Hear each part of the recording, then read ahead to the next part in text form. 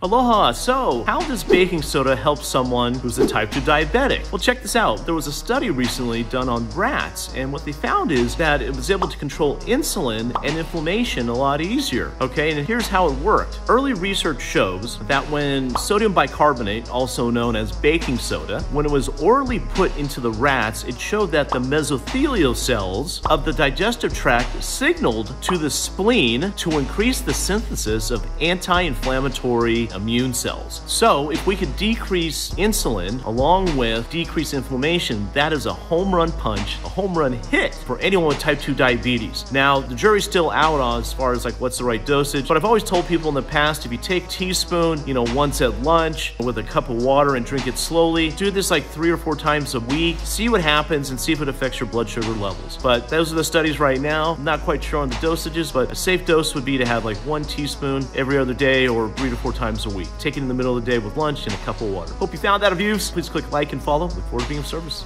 Mahalo.